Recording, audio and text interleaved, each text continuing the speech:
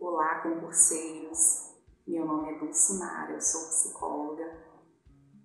Estou aqui a pedido do professor Alisson e do Psicologia Nova para contar para vocês é, sobre a minha trajetória no, no, ramo dos concursos públicos. É, contar um pouquinho mesmo da minha história, né? Eu espero incentivar e motivar vocês a continuar aí nessa caminhada que não é fácil, porém ao mesmo tempo é uma caminhada é, que vale a pena, é uma caminhada que a gente também sente prazer em, em estar nesse caminho.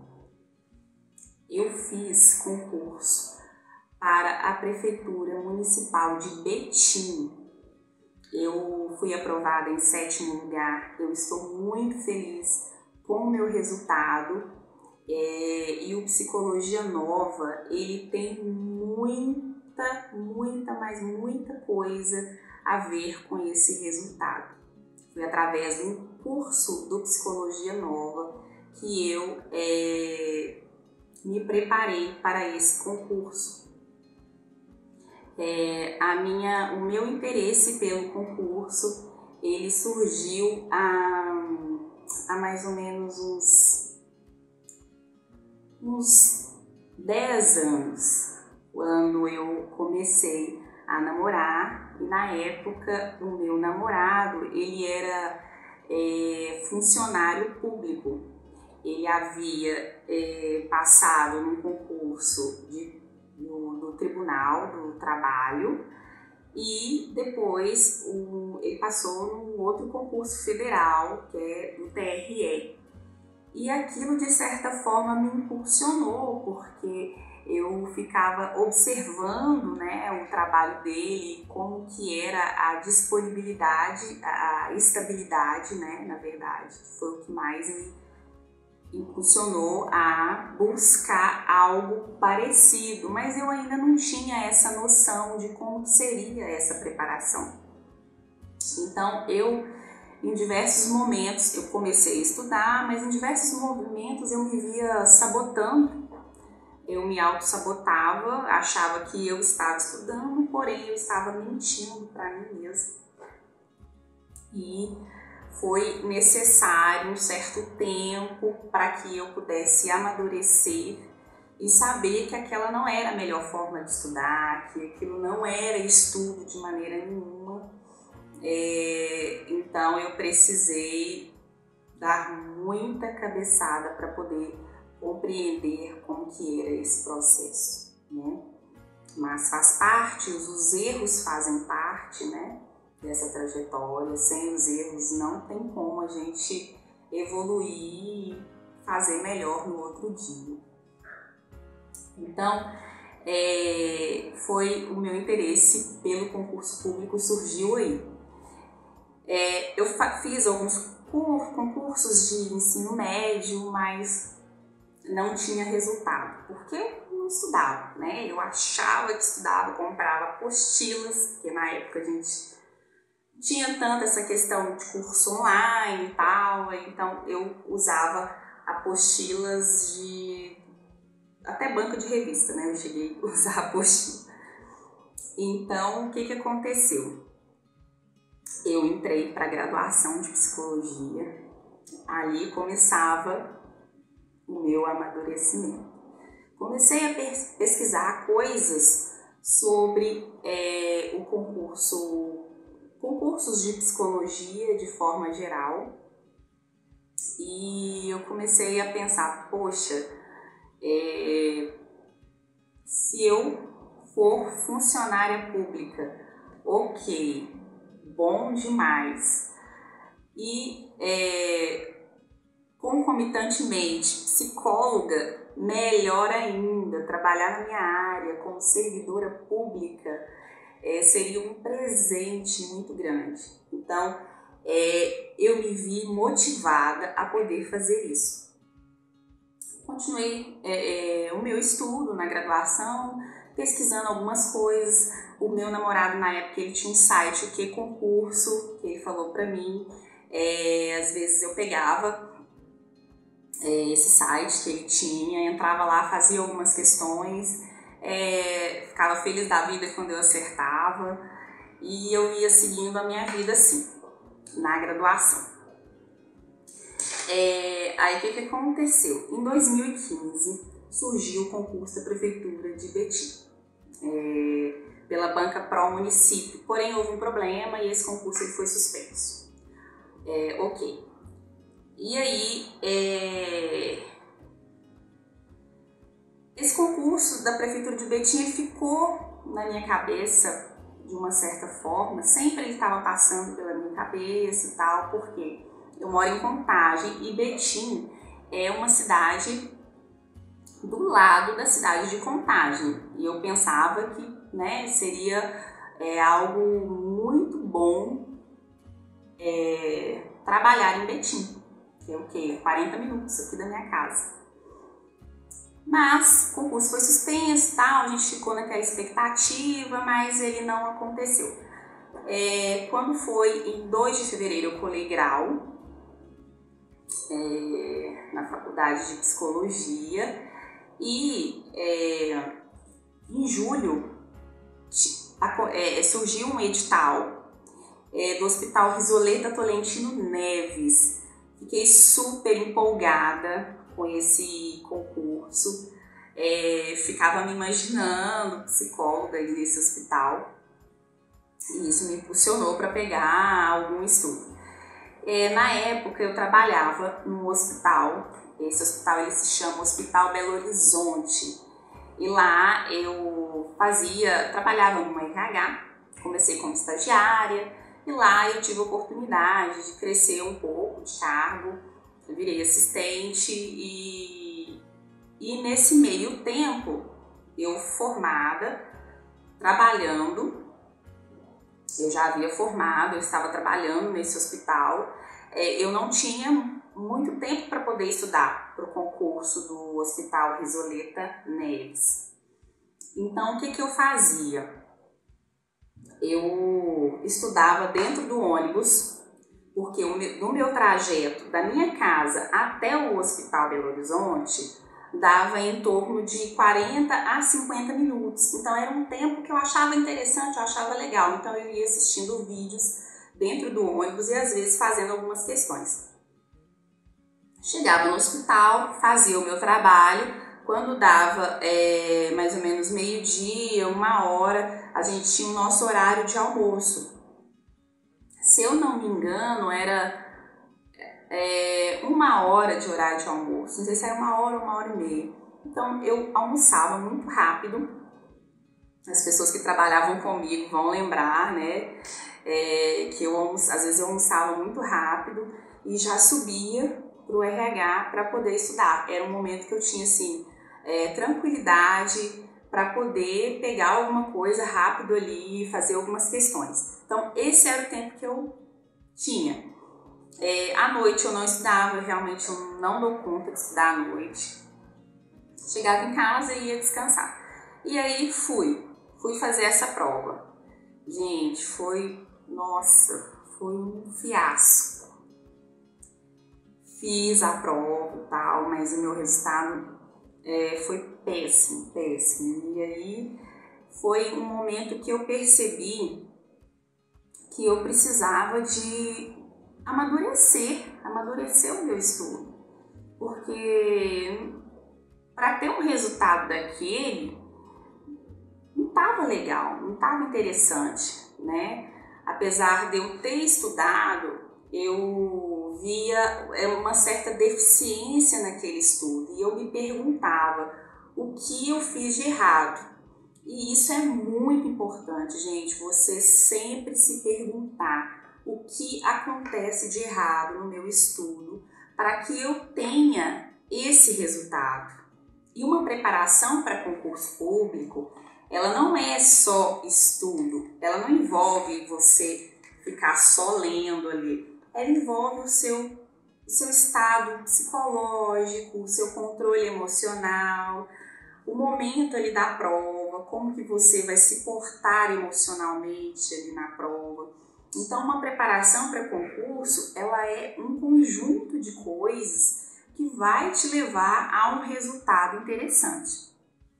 Então, ali, eu, a banca era é, Fundep, uma banca aqui tradicional em concursos aqui é, em Belo Horizonte, em Minas Gerais. Ela faz vários concursos de prefeitura, principalmente.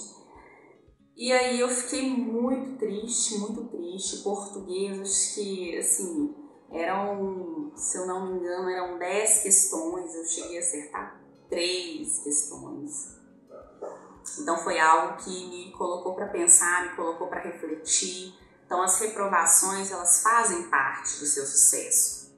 Sem reprovação, dificilmente a gente vai ter sucesso. Só que você tem que utilizar a sua preparação, a sua reprovação como algo para você crescer. Você precisa corrigir aquele erro para que você evolua.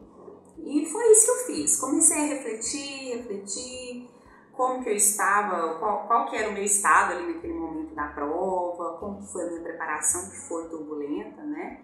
É, estudar dentro de um ônibus, é, você não você não vai ter o mesmo desempenho é, se você estudar na sua casa, né?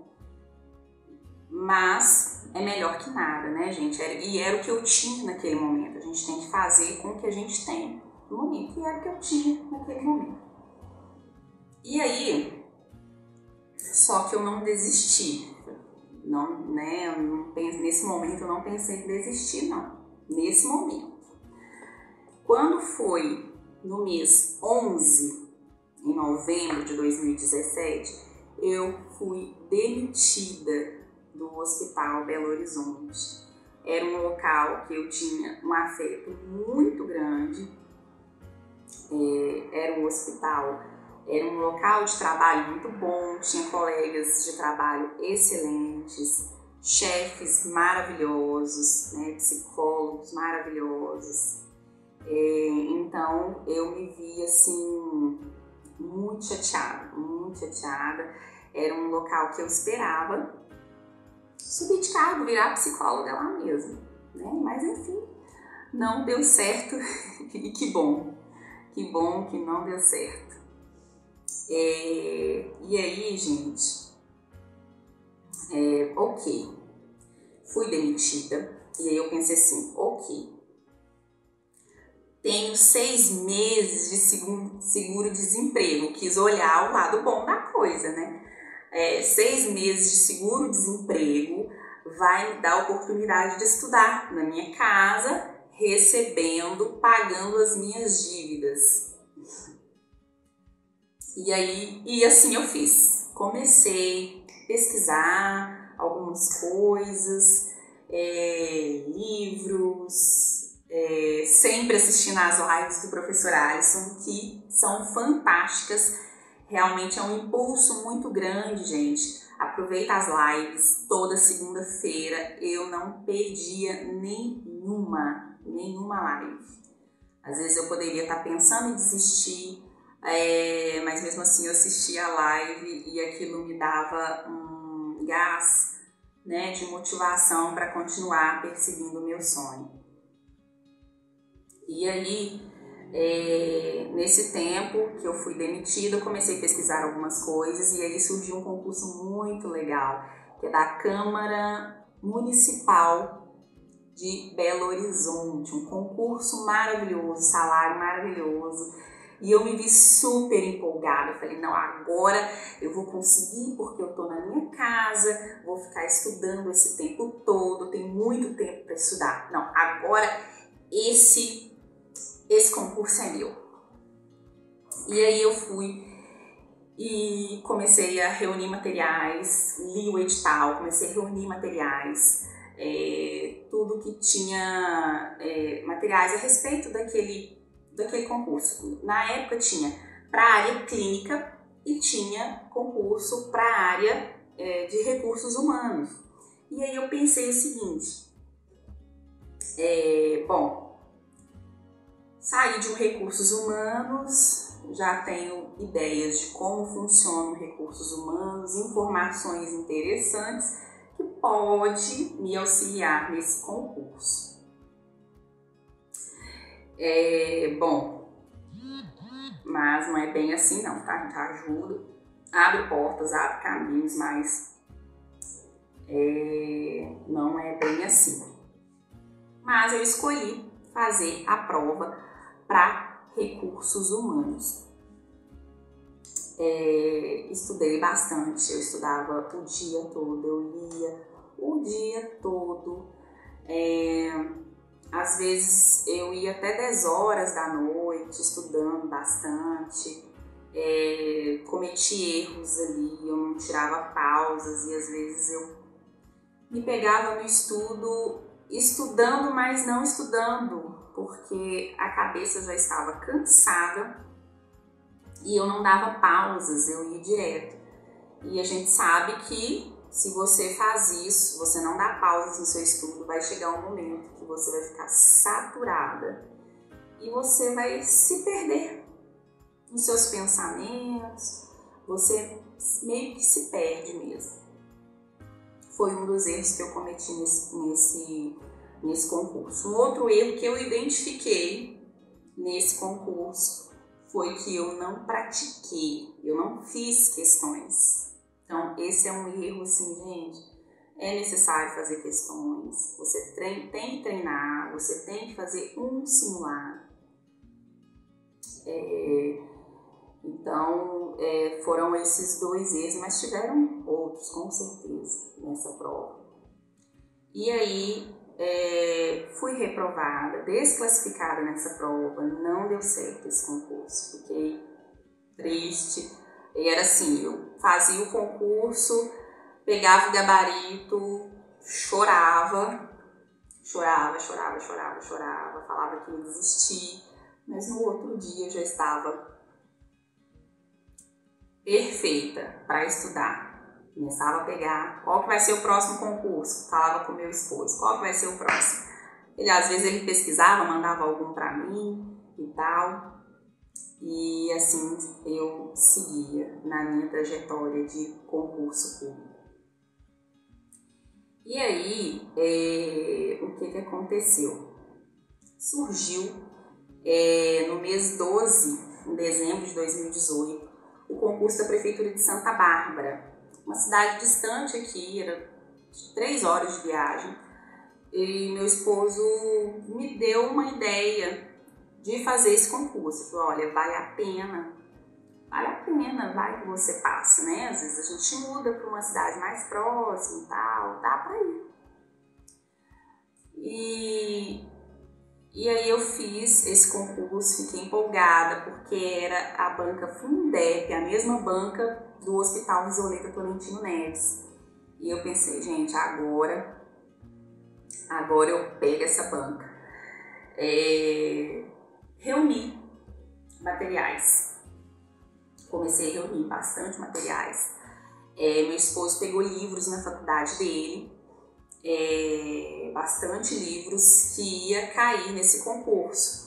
Era, um, era uma bibliografia pronta, a Fundeb trabalha com bibliografia, ela coloca no edital, vai cair o livro tal, da autora tal, o artigo tal. Então, eu reuni, fiz um compilado e estudei através desse material. É, assim, fui bem, fui aprovada nesse concurso, fiquei em, na, é, eu fiquei em trigésimo alguma coisa, né?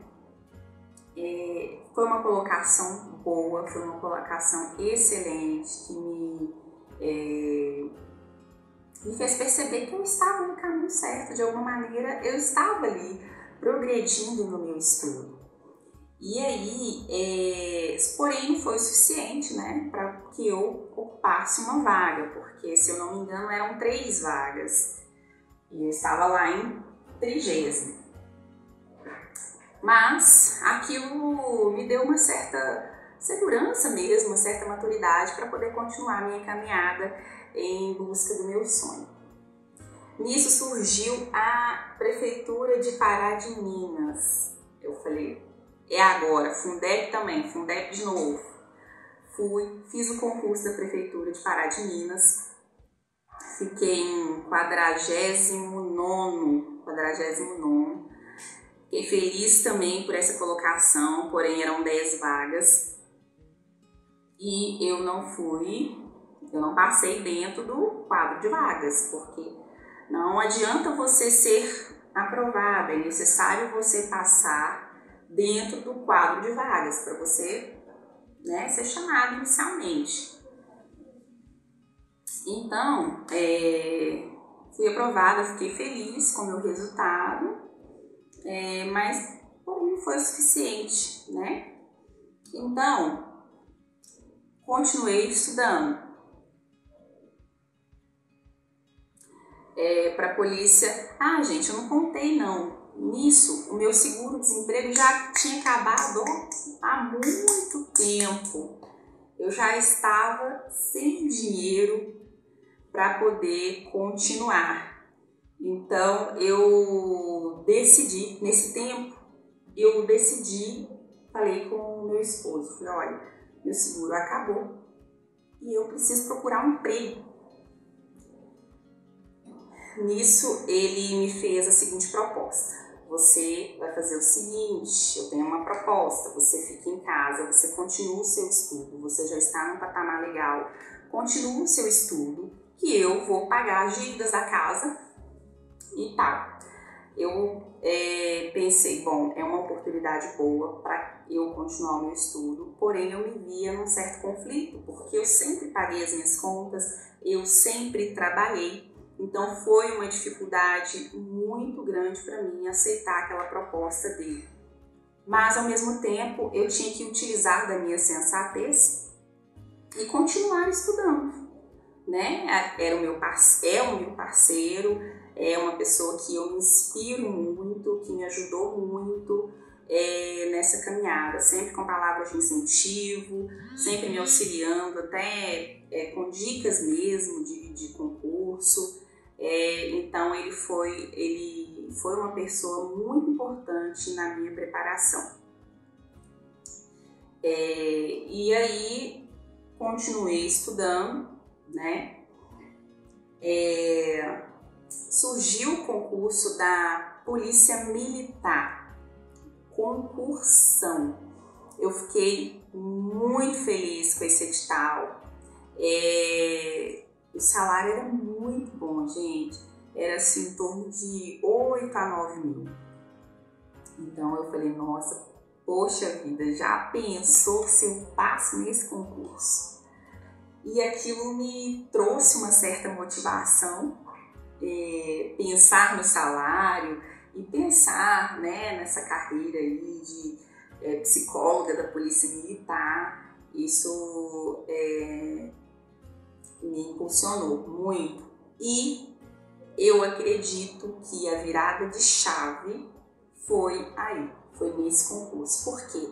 eu comprei o curso do Psicologia Nova. Eu falei, não, esse concurso eu vou dar o meu melhor, eu vou procurar pessoas preparadas para poder me auxiliar nessa preparação. E, gente, o curso do professor Alisson, ele não é só um curso, ele te organiza. Eu me senti extremamente organizada para poder fazer é, esse concurso. Ele te dá a possibilidade de assistir, se eu não me engano, não sei se é assim hoje, mas ele te dá a possibilidade de você assistir três vezes os, os vídeos. São vários vídeos, PDFs, é, questões. Então, não vou aqui, é, é, assim, poupar elogios porque realmente foi um curso, foi um professor que me ajudou muito. É, assim que você compra o curso, o Batman já te coloca no grupo. Então você tá no grupo com pessoas que têm o mesmo objetivo que você é algo muito importante. É, eu digo que você tá próximo de pessoas que têm o mesmo objetivo, ouvindo pessoas que trabalha com isso, que tem o mesmo objetivo que você, vai te colocar bem lá na frente. Então, eu comprei o curso, é, estudei bastante, me organizei, fiz o que eu podia, dei o meu melhor, é, mas ainda não, não foi o suficiente para que eu ocupasse uma vaga. Eram pouquíssimas vagas, pouquíssimas vagas mesmo. Mas eu fiquei feliz, fiquei satisfeita com esse resultado. O resultado, ele não me colocou na próxima etapa, porque tinha uma regra que quem ia para a próxima etapa era só até a décima terceira pessoa. E aí a minha nota não foi uma nota ruim, mas não foi uma nota que suficiente para que eu passasse para é, segunda etapa. Mas eu vi ali a oportunidade de estudar melhor, de escolher melhor o meu material, escolher melhor as pessoas que iam me auxiliar nessa jornada e tal. É... Não deu certo, mas na verdade deu certo, porque foi aí que eu descobri essa riqueza que é o, o curso do Psicologia Nova. E aí, gente, abriu o edital da Prefeitura de Betim. Gente, eu fiquei muito feliz, mas muito feliz mesmo quando abriu esse edital. É... E aí eu falei, não, agora eu vou comprar novamente o curso professor Alisson. Vai ser esse curso. Comprei, estudei muito, gente, eu dei o meu melhor para esse concurso. É, eu repetia para mim todos, todos os dias que eu ia atuar na Prefeitura Municipal de Betim, que uma das vagas era minha. É, e aí eu comecei a estudar, estudei muito, comecei a fazer as questões. É, foi uma banca, assim, que eu tive uma certa dificuldade de assimilar a forma que ela cobrava, porque não tinha questões na área social. O, o edital da Prefeitura é, Municipal de Betim é, abarcava a área social, psicologia social. E não existia questões na área social da banca Instituto AOCP. É, então eu comecei a fazer questões da banca para tentar entender como que ela cobrava, porém eram questões que não tinham nada a ver, não tinha nada a ver com o concurso que eu ia prestar. Mas mesmo assim eu fazia aquelas questões, mas eu ficava muito preocupada, é, porque não tinha questões parecidas.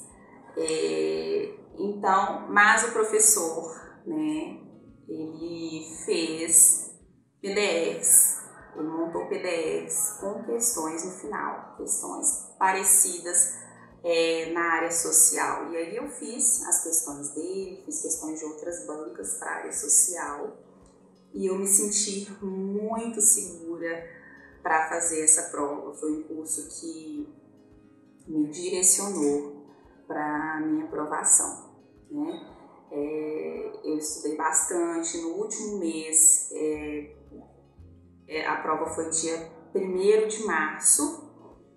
Ah, deixa eu ver. Sim, foi 1 de março é, de 2019. Não, 1 de março de 2020. É, 1 de março de 2020. E aí, antes, antes dessa prova, o que, que aconteceu? Tinha carnaval. Gente, tinha carnaval aqui na minha cidade. Meu esposo estava doido para ir pro bloquinho, né? E, ah, vamos pro bloquinho? E faltava uma semana para fazer a minha prova. Eu falei, não, eu não vou pro bloquinho, eu vou ficar aqui estudando pleno carnaval, vou ficar aqui estudando. Aí eu disse para ele, né, olha, pode ir, É, se você quiser ir, vai, vai curtir esse carnaval, porque eu vou ficar aqui na minha casa estudando. Então ele disse o seguinte, falei, não, se você vai ficar, eu também vou ficar e vou fazer meu carnaval aqui. E foi uma piada, ele, ele ficava na sala, lá embaixo, é, assistindo o carnaval de Salvador, com as bebidas dele e dançando. Às vezes eu descia para pegar água, é, dançava um pouquinho, empolgava ali com o carnaval de Salvador.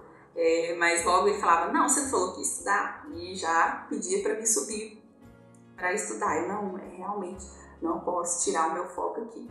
E já voltava para o meu estudo.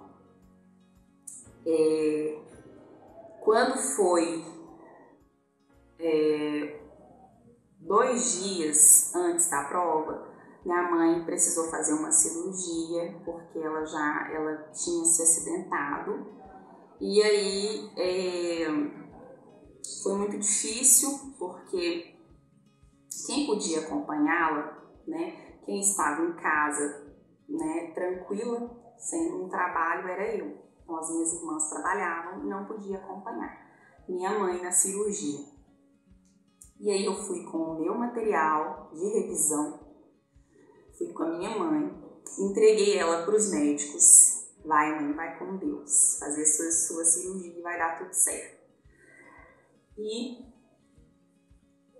e ali eu fiquei estudando enquanto ela fazia a cirurgia dela. Gente, quando foi, deu 40 minutos, o médico chega para mim e fala o seguinte: Você que é filha da da Cláudia. Eu, pronto, aconteceu alguma coisa. Já fiquei nervosa, já. Ali pra mim já acabou. Vi que tinha acontecido alguma coisa. O médico falou: olha, teve um erro na mão da sua mãe, nos primeiros socorros. E por causa desse erro, ela vai perder os movimentos da mão. Eu não consigo fazer nada nessa cirurgia. Sua mãe não vai ter os mesmos movimentos. Aí eu já não conseguia pensar em mais nada, a, nem fazer mais nada, a não ser rezar pela minha mãe. E ali eu tive que me controlar emocionalmente para que eu não jogasse tudo a perder, porque foi tanto tempo de preparação para aquela prova que eu tive que é, ficar tranquila para não colocar a minha prova a perder. Então eu não consegui estudar mais, eu percebi que o meu estudo ali, se eu estudasse, não ia ser funcional. Parei de estudar e fui rezar, né? Era o que me restava naquele momento. Mas aí ocorreu tudo bem, realmente ela ficou com sequelas, mas tá tudo ok. É, fiquei ali no hospital, depois fui para casa, dormi e um dia depois eu fui fazer a minha prova. É, eu fui muito tranquila fazer essa prova. É, eu estava muito bem preparada, muito bem equipada. Eu sabia que eu ia ter um bom resultado, não sabia que seria tão bom, mas eu já tinha ciência de que seria um bom resultado porque eu dei o meu melhor, né? E foi muito bom o resultado. Quando saiu o gabarito, é, a gente fez as contas ali é, bem rápido. Meu esposo já estava indo trabalhar, ele fez as contas muito rápido ali e deu que eu fiquei em 13 terceiro lugar. E são nove vagas. Eu falei, poxa vida, bati na trave. Bati na trave. E eu fiquei chateada. É, mas uma amiga que ama estatística, Aline, essa amiga me ligou, falou, Dulce, parabéns, você está em sétimo lugar. Gente, aquilo ali para mim é, foi surreal. Foi, eu não sabia se eu gritava, se eu chorava, se eu agradecia. É, foi uma festa muito grande. É, eu liguei para meu esposo, ele estava no caminho, estava na, na BR E aí ele voltou para poder me abraçar e foi gritos, choro, sorrisos. Foi muito bom quando você descobre que você é, está colhendo os seus frutos. É, é algo que é, é muito gratificante. A palavra é essa, gratidão é muito gratificante. Você lembra de todas essas, as pessoas que contribuíram para que esse processo acontecesse, né? É, a gente se afasta dos amigos, a gente se afasta dos familiares para poder ir em busca desse sonho, né? Muitos não compreendem, e aqueles que compreendem são aqueles que realmente estão com você.